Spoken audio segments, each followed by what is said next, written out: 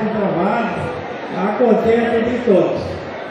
Então, por isso que a gente vai querer sempre apresentar as pessoas que trabalham, para mostrar para vocês a transparência e a, a vontade de vencer aquele trabalho que de fato ele é bastante ocupante. Então a gente precisa bastante. Vamos falar um pouquinho sobre a quantia. Agora, esses poucos dias agora, nós tivemos uns falecimentos lá, nós estamos com 31 mortes.